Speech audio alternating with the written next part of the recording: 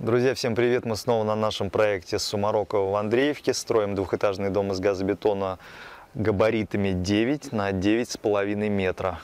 В последний момент заказчик добавил к своему дому полметра вот здесь вот в кухне-гостиной. Уже когда мы сделали АР, было время зимнее, зимнее ожидание долгое, и заказчик принял такое взвешенное решение добавить еще полметра к своему дому, увеличив зону кухни-гостиной. Ну а сегодня у нас день заливки верхнего армопояса, который у нас в верхнем ряду укладки уже стандартно мы делаем. До этого, естественно, возвели два этажа стен из газобетона. Также сейчас подойдем, покажу. Сделали также четверти, вернее, начали делать четверти. Это вот такая четверть, которая здесь выемка. Здесь будет окно стоять и прикрывать четверть будет монтажный шов окна. Вертикальная часть, она уже выпилена в самом блоке. Вроде бы как не видно, что это четверть, да? Но тем не менее это четверть. А вот сверху горизонтальная часть, она будет уже приклеиваться. Перемычки из газобетона. Теплая перемычка из газобетона, которую мы применяем практически всегда на наших объектах, на наших проектах. Устройство четвертей не входит в стандартные работы, потому что четверти отнюдь не всегда требуются при производстве работ э, делать, да, потому что может быть утепление наружное и так далее. Но если вдруг это надо, всегда в нашей смете на сайте вы можете увидеть эти работы как дополнительные работы. Мы находимся в зоне входа в дом. Здесь у нас залито достаточно широкое бетонное крыльцо. Еще на этапе фундамента залили. Здесь вот поддоны стоят немножко не видно, может быть, но тем не менее сейчас покажу со всех сторон. Широкое крыльцо 5 метров. И здесь два входа. Это вот эти бетонные ступени сбоку. И спереди тоже бетонные ступени. То есть есть возможность с двух сторон на него заходить. И скажу так, что это крыльцо на самом деле можно обыграть по-разному. Это может быть открытое крыльцо, чтобы просто заходить и быть под кровлей находиться. И это может быть закрытое крыльцо, если заказчик примет решение. Позже можно обложить здесь камнем, газобетоном и накрыть кровлей также. И это будет теплый тамбур. Использовать можно как теплый тамбур при входе в дом.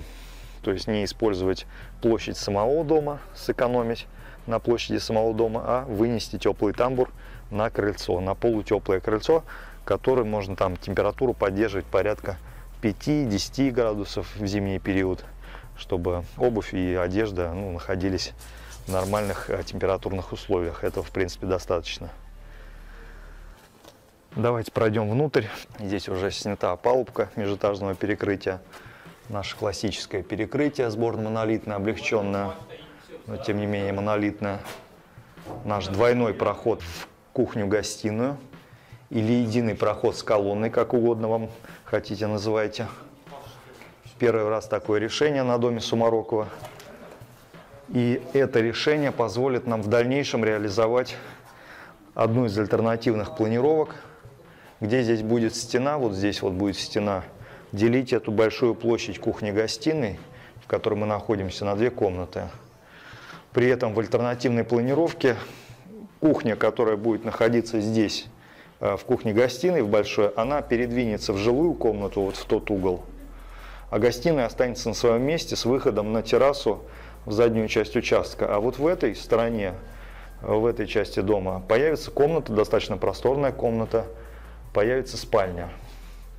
Вот такое вот интересное решение. Вообще в этом доме будет достаточно много альтернативных, скажем так, вариантов планировок мы все смелее и смелее подходим к планированию, к устройству, к проектированию своих домов, в частности домов Сумарокова.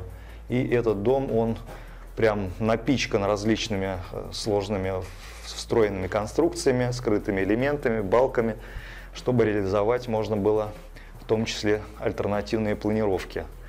Вот такой пароход, он первый раз, но я говорю, он позволит сделать здесь два входа, в две отдельные комнаты, в гостиную и в жилую комнату в спальню. И там также, естественно, останется вход в кухню. А пока это большая кухня-гостиная, классический наш вариант, и в данном случае с выходом в заднюю часть участка, в заднюю часть дома. Э, Кухня-гостиная – самая видоизменяемая часть дома Сумарокова, ну и вообще наших домов потому что кто-то хочет окна побольше, кто-то поменьше, кто-то хочет э, выход в боковую часть, э, грубо говоря, участка, например, как в Конаково мы делали, кто-то в заднюю сторону участка, как здесь, или даже спереди иногда у нас бывают двери, как, например, в Щелково. Все эти видео есть на нашем канале. Вот. И, друзья, на самом деле мы ищем новые пути реализации этого проекта, мы ищем новые смелые решения – которые у нас очень часто приходят от наших заказчиков, в том числе потенциальных заказчиков. Если у вас есть какая-то светлая идея, как мы можем реализовать ваш дом Сумарокова, что изменить можем в этом доме, добавить, дополнить, пожалуйста, обращайтесь, и мы спроектируем и реализуем дом Сумарокова, ваш дом Сумарокова на вашем участке. И он будет отличаться, как все дома немножко отличаются на каждом нашем объекте. Ну и давайте поднимемся наверх, посмотрим готовность армопояса под заливку бетоном.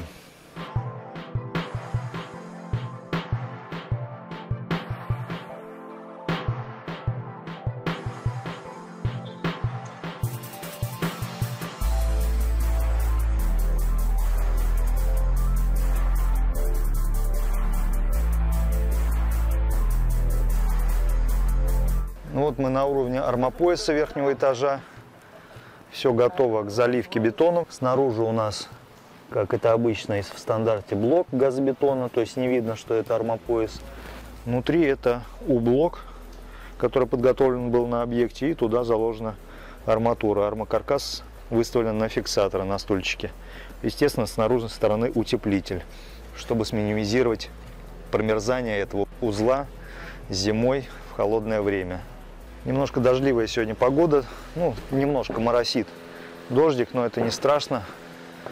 Лучше небольшой маленький дождик, чем жара, когда бетон отдает активно свою влагу и все-таки немножко теряет прочность. Сейчас такая пасмурная погода, но теплая. Ну, почти идеальная погода, чтобы заливать бетон, укладывать бетон в наши монолитные конструкции. Это самая верхняя монолитная конструкция дома выше уже ничего не будет. К этой монолитной конструкции будет притягиваться муэрлат на шпильке на химанкера. В общем, стандартное расположение, планировка, будем так говорить, несущих всех конструкций. Посередине, условно посередине несущая стена, как в наших всех классических домах Сумарокова. Здесь у нас лестничный проем, здесь у нас две жилые комнаты, как правило, и еще пару жилых комнат будет в этой части. Ну, об этом немножко попозже расскажем. Сейчас это можно видеть без пока перегородок, без тонких, без 150-х. Пока здесь вот рабочий процесс да, идет. Сегодня еще уборку ребята сегодня-завтра сделают, начнут перегородки. Снизу уже начали перегородки выкладывать. Пока дом можно увидеть, можно сказать, без крыши. В таком формате open space. Пока нету ни одной перегородочки тонкой на втором этаже. Ждем миксер.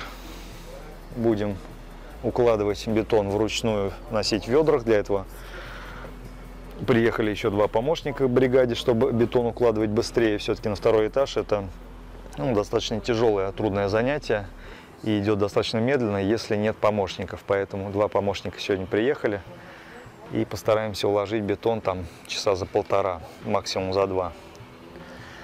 Ну и давайте посмотрим, за этим процессом. Задавайте вопросы, если они у вас возникнут. А у нас впереди устройство перегородок на этом доме. Ну и чуть позже, естественно, пойдут кровельные работы.